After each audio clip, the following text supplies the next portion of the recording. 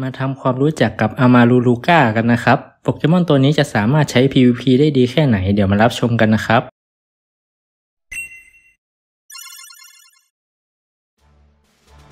สวัสดีเพื่อนๆชาวโปเกมอนโกทุกคนนะครับ ขอต้อนรับสู่ห้องค้นคว้าโปเกมอนกับผมโตริโนต้าครับ สำหรับคลิปนี้จะเป็นการทดลองโปเกมอนมา PVP ใน Go Battle League ดูดูการอัญมณีเลนลับของโหมด Gate League และโปเกมอนที่ผมจะมาทดลองให้กับเพื่อนๆได้รับชมในวันนี้ก็คืออามารูลูก้าโปเกมอนจากภูมิภาคคาร์ลอส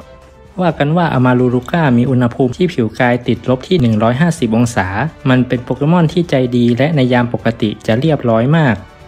โดยอามารูลูก้าเป็นโปเกมอนประเภทหินและน้ำแข็ง จึงทำให้แพ้ทางท่าโจมตีประเภทต่อสู้ ประเภทโลหะ ประเภทดิน ประเภทหิน ประเภทน้ำ ประเภทหญ้า และสามารถต้านทานท่าโจมตีประเภทปกติ ประเภทบิน ประเภทพิษ ประเภทน้ำแข็งได้ครับ มีร่างแรกคืออามารุสเพื่อนๆต้องใช้ candy จำนวน 50 ลูกในการวิวัฒนาการเป็นอามารูรูกา ซึ่งหากเพื่อนๆ จะเปิดท่าชาร์จที่ 2 จะต้องใช้ candy จำนวน 75 ลูกกับอีก 75,000 Stardust ค่า status ของอามารูรูกานั้นจะเด่นในด้านค่า HP มีท่าโจมตีที่ใช้ PVP ได้ดีครับ เก็บ Energy ได้รวดเร็ว มีท่าสแปมให้ใช้ แถมยังมีท่า damage หนักๆ ไว้ปิดเกมอีกครับ ถัดไปมาดูท่า moveset ที่ผมเลือกใช้กันดีกว่านะครับ โดยผมจะใช้ท่าเร็วเป็นท่าผงหิมะ ส่วนท่าชาร์จใช้ท่า Weather Ball กับ Meteor Beam ครับ ทีนี้มาดูจำนวนครั้งของการเก็บ Energy สำหรับการปล่อยท่าชาร์จแบบคร่าวๆ ของอามารูลูก้ากันนะครับ โดยให้เพื่อนๆ สังเกตระดับค่า HP ของโปเกมอนฝั่งตรงข้ามที่ลดลงเป็น step ถ้าหากลดลง 5 ครั้ง จะได้ท่า Weather Ballและ 8 ครั้ง จะได้ท่า Meteor Beam ครับ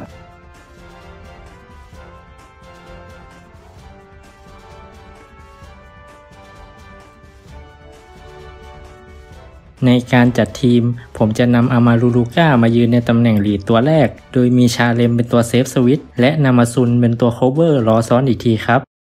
สำหรับทีมโปเกมอนชุดนี้ เป็นทีมที่จัดขึ้นมาเพื่อใช้สำหรับทดลอง PVP เท่านั้น ซึ่งแน่นอนว่ามันคงใช้สำหรับการไต่แรงใน Go Battle League ได้ไม่ดีเท่าไหร่นัก เพราะฉะนั้นถ้าหากจะนำไปใช้ตาม เพื่อนๆต้องนำไปปรับแต่ง หรือจัดทีมในรูปแบบอื่นๆ ให้ได้ผลลัพธ์ที่ดีสำหรับเพื่อนๆนะครับ เอาละครับเพื่อนๆ ถัดจากนี้จะเป็นตัวอย่างของการ PVP นะครับ โปเกมอนตัวนี้จะดีหรือไม่ดียังไงเพื่อนๆ ลองตัดสินใจนะครับ แล้วมาฟังความคิดเห็นของผมในช่วงท้ายคลิปกันอีกที และตอนนี้เพื่อให้ไม่เป็นการเสียเวลา เรามาเริ่มกันเลยนะครับ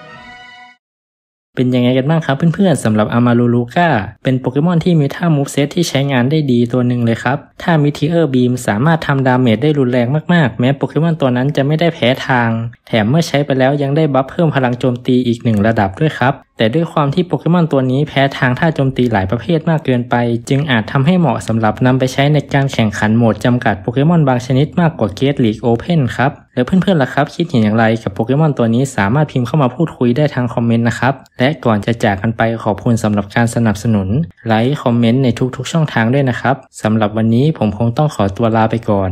ขอให้โชคดี เจอโปเกมอนชนี่นะครับ สวัสดีครับ อย่าลืมกดไลค์ กดแชร์ กด Subscribe พร้อมทั้งกดกระดิ่ง เพื่อไม่ให้พลาดคลิปต่อๆไป และเป็นกำลังใจให้กันด้วยนะครับ